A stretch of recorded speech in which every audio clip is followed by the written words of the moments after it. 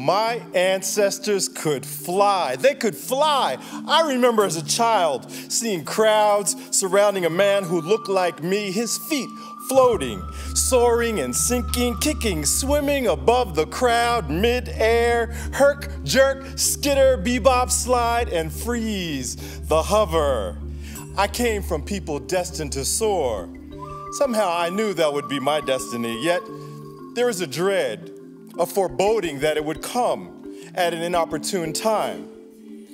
The period at the point in the sentence where one expects a comma is always disconcerting. Here I am expecting a comma moment and you. I brace myself doing the make the white man feel safe thing to the best of my ability, mentally folding my dick in half in deference, striving to project light skin, good hair, and harmlessness, face dancing, choreographed to help you see the humanity in my darkness.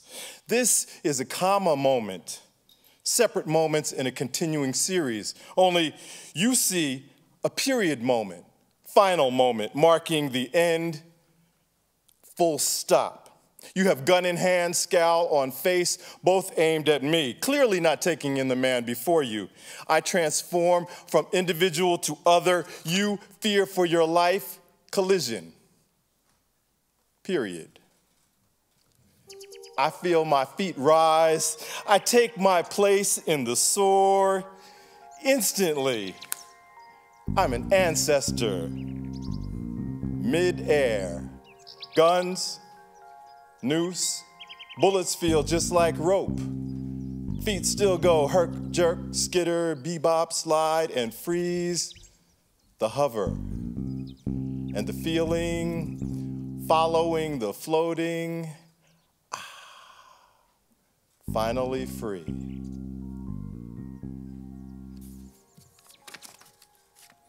Good evening, everybody.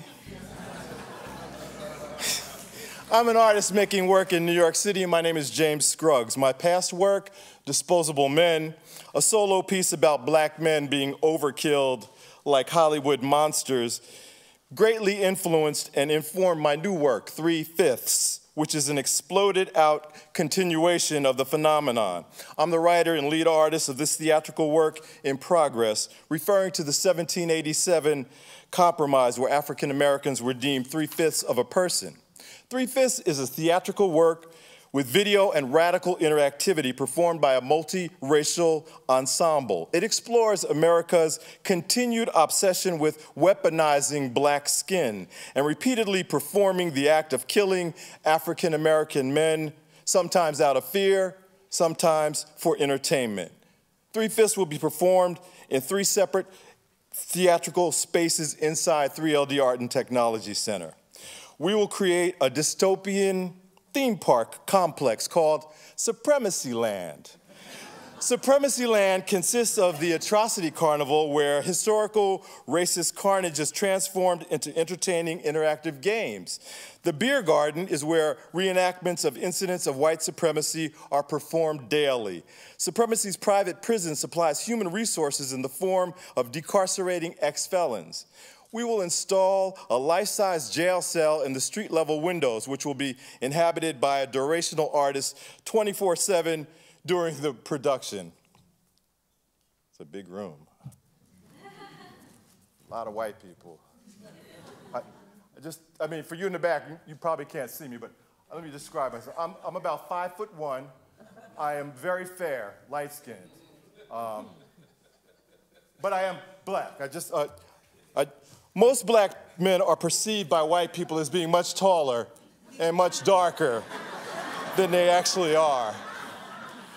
In Supremacy Land's Atrocity Carnival, there will be designated BBFFs stationed throughout to address the issue of white fragility by renting their black friendship. think, think of me as your personal BBFF. And here's a little trick to help you feel comfortable should you find yourself in an all black social scenario and you just want to fit in. Just add one, two, three, and shit to the end of any sentence for immediate access to urban appropriated slang. It's like a verbal dashiki in a short phrase. And shit. Audience members will be given supremacy dollars and directed to randomly experience the several amusing booths of the Atrocity Carnival. One featured attraction will be a booth where you will confront and interact with an actual image of yourself as another race. Another favorite is Rodney King karaoke.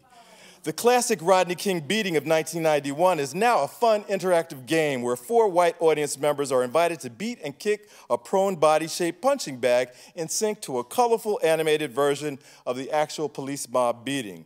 There'll be something for everyone. Black audience members will get the chance to try on an amusing 3D police chalk outline that they can lie inside of and have a pic taken so that they will know what they look like when they're shot by an officer who feared for their life, then left for dead for several hours to remind the whole neighborhood what law and order looks like. The reverse middle passage moment, where three fifths honors the millions of Africans who died in the crossing, disrupts the entire carnival. Time stops and the entire space goes blue. We're underwater. On the walls, hundreds of black bodies are projected, slowly sinking down a live black woman in West African garb appears and marches through the space, gathering all the black people in the room. She leads them to the beer garden, which is momentarily a West African village. They are enthusiastically welcomed back to Africa. My hope is that people who see Three Fifths will get a glimpse of some of the actual historical occurrences that now live as physical measurable biological trauma inside people who look like me.